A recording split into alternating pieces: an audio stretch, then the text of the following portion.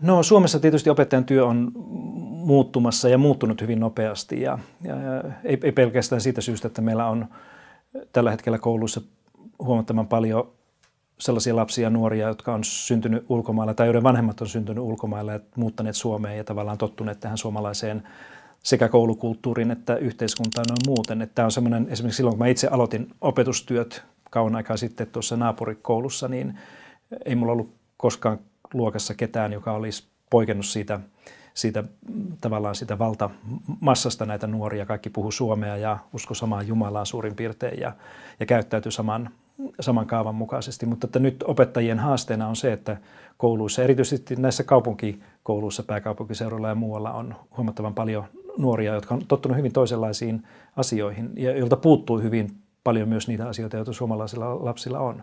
Et se on varmasti tämmöinen iso asia, joka koskettaa hyvin monia, monia opettajia. Sitten toinen on tietysti tämä ihan tämä suomalaisen yhteiskunnan rakenteiden muuttuminen, se, että meillä kuitenkin eriarvostuminen jollakin tavalla on lisääntynyt. Me tiedetään, että Suomessa on köyhyydessä eläviä lapsia enemmän kuin aikaisemmin.